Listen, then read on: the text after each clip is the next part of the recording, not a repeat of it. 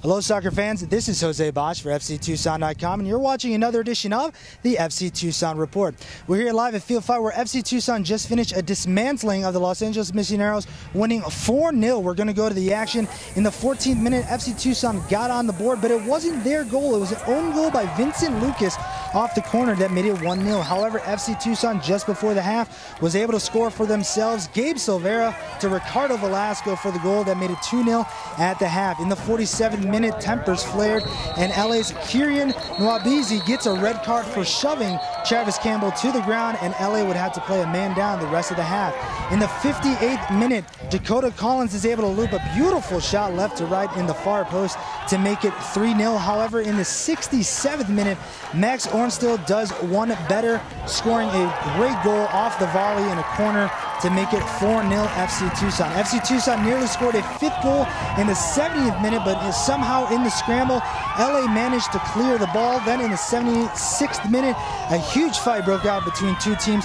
Amazingly, just three yellow cards emerged from this scuffle, two to LA, the one to FC Tucson. But despite the tempers flaring, no other flare-ups came up, and FC Tucson finished the game winning 4-0. I spoke with FC Tucson head coach Rick Schantz and some players about FC Tucson reaching its full potential and playing like a playoff team.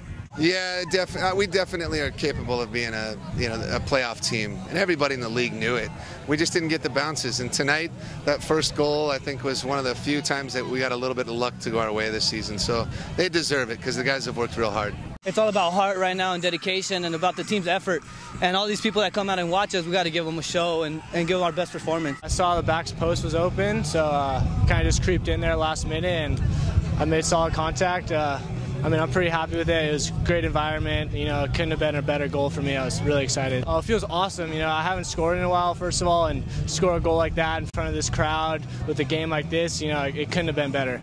FC Tucson has one more PDL match left next Saturday, July 20th. However, they have one more non-league match that'll be on Tuesday, July 16th against the Yucaipa All-Stars from Yucaipa, California. You can get tickets at www.fctucson.com. And if you want to stay up to minute on FC Tucson news, you can follow our Twitter feed at FC underscore Tucson or like us on Facebook at facebook.com slash FC Tucson. That does it for this edition of the FC Tucson Report. This is Jose Bosch saying so long, Tucson.